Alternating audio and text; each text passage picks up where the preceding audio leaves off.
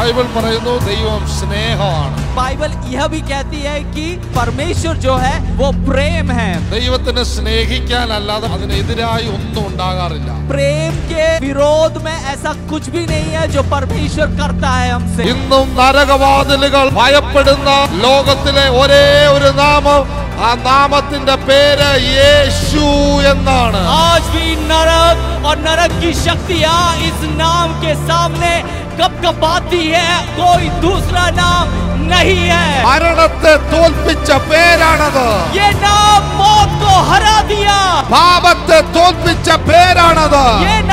वो नाम है जो पाप को हरा दिया യേശു ക്രിസ്ത്യാനികളുടെ മാത്രം ദേവനല്ല यीशु मसीहों का केवल परमेश्वर नहीं है അവൻ വിശ്വസിക്കുന്നവരുടെ ദൈവമായി ഇറങ്ങി വരും जितने लोग उस पर विश्वास करेंगे वो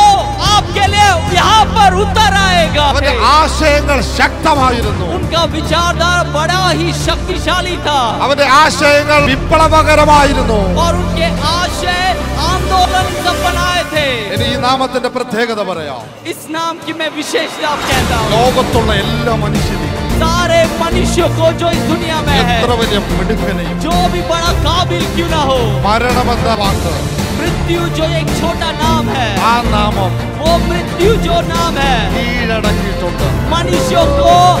हरा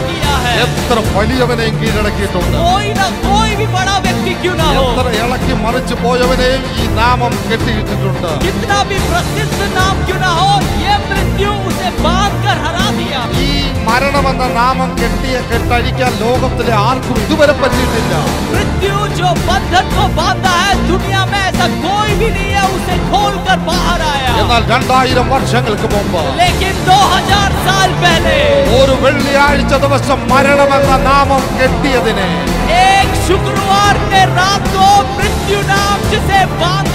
ഒരു ഞായറാഴ്ച പ്രഭാതത്തിൽ മരണപാശങ്ങളെ അഴിച്ചോണ്ട് പുറത്തേക്ക് വരുന്നു.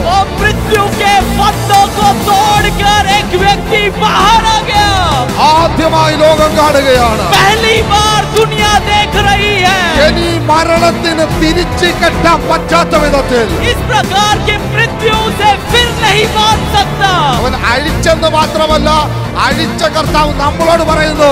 മരണത്തിന്റെയും പാതാളത്തിന്റെയും താക്കോൽ എന്റെ കയ്യിലാണെന്ന് न केवल उन बंधों को तोड़कर वो बाहर आया वो प्रभु हमसे कहता है कि मृत्यु और पाताल की कुंजी मेरे हाथ में है നമ്മൾ തമ്മിൽ പരിചയക്കാരാണോ क्या हम आपस में परिचित हैं ഞാൻ നിങ്ങളുടെ വീട്ടിൽ വന്നിട്ടുണ്ടോ क्या मैं आपके घर में आया हूँ ഞാൻ കാണുന്നത് मैं जो देखता हूँ ഒരു റോഡ് एक रोड है ആ റോഡിനോട് ചേർന്നിരിക്കുന്ന ഒരു സ്ഥലം और रोड से मिला हुआ एक स्थान അതിനകത്ത് വൈറ്റ് വാള് പെയിന്റ് അടിച്ചു और सफेद दीवालों में पेंट लगा हुआ है ആ വീട്ടിലോട്ട് കയറുമ്പോൾ റൈറ്റ് സൈഡിൽ യു ടെൻ എന്നാണ് അതിനകത്ത് നമ്പർ ഉണ്ട് और घर के अंदर घुसते समय दाहिनी तरफ यू टर्न ऐसा नंबर है അതേ പ്രോഫിറ്റ് ഈ വീടിന്റെ നമ്പർ അത്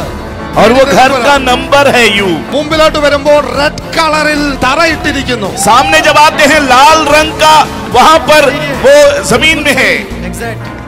അങ്ങോട്ട് കയറുമ്പോൾ അതിന്റെ ബാക്ക് സൈഡിലെ ഭിത്തിയിൽ ആളുകളുടെ ഫോട്ടോ വെച്ച പിക്ചർ और वहां पर पीछे में जो एक दीवार है अंदर घुसने के बाद वहां लोगों की कुछ तस्वीरें लगी हुई है हाँ बिल्कुल सही है ഡോർ തുറക്കുന്നതിന്റെ വലത് സൈഡിൽ ഒരു ഫ്രിഡ്ജ് ഇരിക്കുന്നു और दरवाजा खोलते ही दाहिनी तरफ एक फ्रिज रखा हुआ है ആ ഫ്രിഡ്ജിൽ ജീസസ് എന്ന് എഴുതി ഒട്ടിച്ചിരിക്കുന്നു और उस फ्रिज में जीसस लिखा हुआ है चिपका हुआ നിങ്ങളെ ദൈവം ആദരിക്കാൻ പോകും परमेश्वर आपका आदर करने जा रहा है നീ ബുള്ളറ്റ് ബുള്ളറ്റ് ഉപയോഗിക്കുന്നയാളാണ് क्या बुलेट इस्तेमाल करते हैं आप ഈ ബ്രദർ പറയുന്നത് ഈ ബ്രദറിന്റെ ഇപ്പൊ ഉപയോഗിക്കുന്ന വണ്ടി ബുള്ളറ്റ് और ये भाई बोल रहा है अभी जो इस्तेमाल करता है वो गाड़ी बुलेट है ലാസ്റ്റ് നമ്പർ സെവൻ ആണോ और उसका लास्ट नंबर सात है അത് തന്നെ അവസാനത്തിന്റെ നമ്പർ സെവൻ ആണ് നിന്നെ ഒരു റോഡ് ആക്സിഡന്റിൽ തകർക്കാൻ പിശാചിട്ട പ്ലാൻ കർത്താവ് തട്ടി മാറ്റുകയും അതൊരു അത്ഭുതമാകുകയും ചെയ്യാൻ പോകും और तुझे रोड के एक्सीडेंट में जो शैतान ने एक योजना बनाई थी उसे अलग कर दिया परमेश्वर और तुझे आश्चर्य कर्म बना दिया है നിന്റെ കുടുംബം എവിടെ തീർന്നെന്ന് വിചാരിച്ചോ അവിടെ തന്നെ ദൈവം നിന്നെ തല ഉയർത്തി तेरा परिवार जहाँ टूट गया तूने सोचा वहीं परमेश्वर तेरे परिवार को तेरे सिर ऊंचा कर रहा है ഇരുപത്തിരണ്ട് വർഷമായിട്ട് ആസ്മയുടെ പ്രശ്നം ഉണ്ടായിരുന്നു അത് കാരണം നനയ്ക്കുമ്പോൾ കിടയ്ക്കും പക്ഷെ ഇവിടെ വെച്ച് പ്രാർത്ഥിച്ചു പ്രാർത്ഥിച്ചതിന് ഇവൻ അങ്ങോട്ട് ഇങ്ങോട്ട് നടന്നു ഓടി ഓടിയതിനു ശേഷം ഇവിടെ നിന്ന് ബ്രീത്ത് ചെയ്തപ്പോൾ ഒരു ये कह रहा है कि इसे साल से अस्थमा की तकलीफ थी और जब चलता था तो ये हाँफता था लेकिन अभी जब प्रार्थना के बाद ये यहाँ वहाँ दौड़ा फिर भी इसे कोई तकलीफ नहीं हो रही है ഒരു ആക്സിഡന്റ് പറ്റി ആക്സിഡന്റ് ഈ ഇടത് നെഞ്ചിന് താഴെയായിട്ട് ഒരു മുറിവുണ്ടായി ആ മുറിവ് കാരണം മൂക്കിൽ കൂടെ ശ്വാസം എടുക്കാൻ പറ്റത്തില്ല ഇതുവരെ ഈ കഴിഞ്ഞ നാല് വർഷത്താൽ വായുവെന്നാണ് ശ്വാസം എടുത്തത് ഇപ്പോൾ കൈവച്ച് പ്രാർത്ഥിച്ചു കഴിഞ്ഞ നാല് വർഷത്തിന് ശേഷം മൂക്കിൽ കൂടെ ശ്വാസം എടുത്തു चार वर्ष पहले उसका एक एक्सीडेंट हुआ था इसे बाएं सीने की तरफ उसको जख्म हो गया था चोट लगी थी थी और इसके नाक जो है वो उससे वो श्वास नहीं ले पाती थी मुँह से सांस लेती थी। लेकिन अभी प्रार्थना के पश्चात वो नाक से सांस ले रही है। ज़ोर से बोले हालेलुया! क्या था इस बच्चे को तकलीफ़? ആ, ഹിന്ദി പറഞ്ഞ നടക്കുമ്പോൾ താഴെ വീഴുമായിരുന്നു जब वो चलता था तो जमीन में गिर जाता था നേരെ നിൽക്കത്തില്ലായിരുന്നു सीधा खड़ा नहीं हो पाता था ഏ, വരും. भाई कौन है सीधा नहीं खड़ा हो सकता നിൽക്കത്തില്ല വീഴും एक मिनट भी वो खड़ा नहीं हो सकता നിൽക്കത്തില്ലായിരുന്നു ऐसे गिर जाता था വീട്ടിക്കളയണമെന്ന് പറഞ്ഞ് നിന്ന